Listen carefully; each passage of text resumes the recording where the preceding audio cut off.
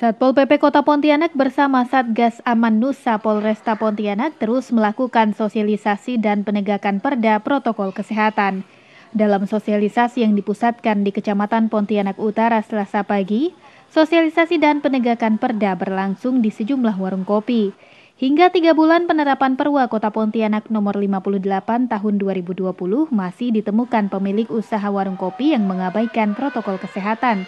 Akibatnya tiga pemilik warung kopi didenda sebesar satu juta rupiah karena masih ditemukan pelanggan yang tidak menggunakan masker.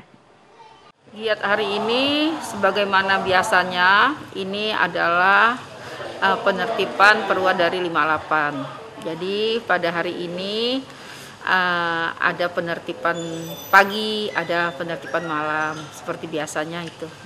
Nah, kemudian memang pada hari ini yang kita dapat ini tiga pemilik, kemudian tiga pengunjung. Nah, tetapi memang sebenarnya kesadaran masyarakat tuh sudah mulai nampak. Jadi memang kita susah juga untuk mencari masyarakat yang tidak ada memakai masker. Selain pemilik warung kopi, pelanggan yang ditemukan tidak menggunakan masker juga diberi pilihan denda Rp200.000 atau kerja sosial.